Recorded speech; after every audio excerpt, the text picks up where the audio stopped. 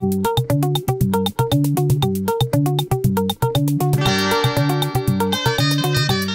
everyone and welcome back to Short and Sweet Languages. I am Dionne and this week's phrase is get dressed.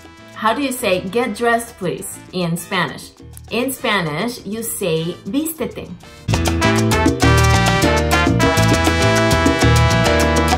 Vístete por favor. Get dressed please. Vístete. Now, in Spanish, there's the B and there's the V, and this word is with a V, um, vístete.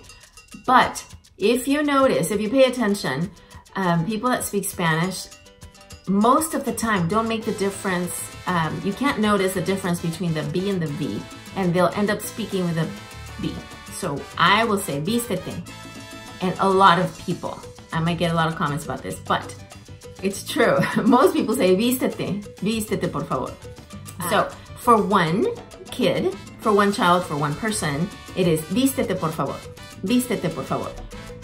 For two or more, it is vístanse, vístanse por favor, vístanse, ya vístanse, sorry, ya vístanse. So remember the word ya, like already, like hurry up, do it now. Ya vístanse, got it?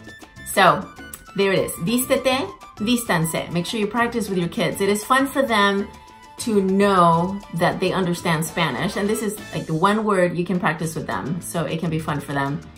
All right. Make sure you practice this week and I'll see you next time.